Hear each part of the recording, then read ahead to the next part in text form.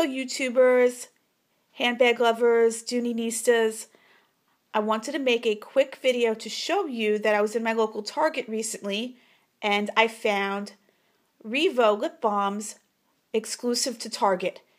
In my Target, there were three of them. As you can see here, from left to right, coconut blueberry, strawberry dragon fruit, and vanilla mint and I wanted to show you what I did with them. Since once you take them out of the packaging you don't you no longer know the name of them. You have to kind of just hope you remember them. But what I did was on the other end I found these little blank white stickers at Staples.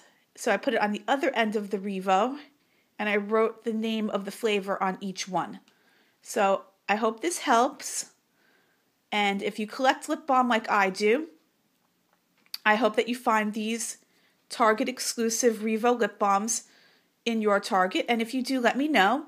And also let me know if you found any additional flavors or were there only three flavors in your Target as well. So here you are. This is a short and sweet video uh, to give you the heads up. If you collect lip balm, if you like Revo, uh, Target has an exclusive uh, Revo collection, and I like it that it's in the packaging that's uh, the same packaging as the um, beeswax Revo. So thanks for watching, and I'm looking forward to talking to you guys in the comments below. Have a good morning. Talk to you later. Bye.